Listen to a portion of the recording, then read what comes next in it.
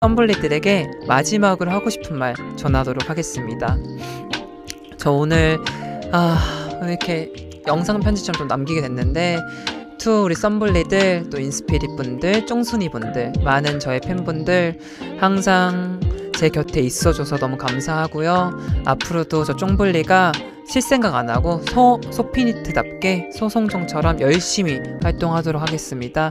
언제나 물론 일하다 보면 힘든 일도 있을 거고 즐거운 일도 있겠지만 그 희노애락을 여러분들과 함께 하고 싶어요. 지금처럼 앞으로도 뭐 시즌 3를 하던 많은 예능이나 또 고정으로 하거나 많은 또 컨텐츠들 또 많은 무대로 저의 쫑볼리의 매력을 많이 많이 보여드리도록 하겠습니다.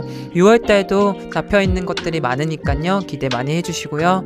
어, 비록 시즌 2는 여기서 인사드리지만 또 3도 언제나 올 수 있다는 점 어, 마음속에 넣어두세요. 네 언제나 쫑볼리는 우리 썸볼리들 인스피릿 편에 서 있도록 하겠습니다.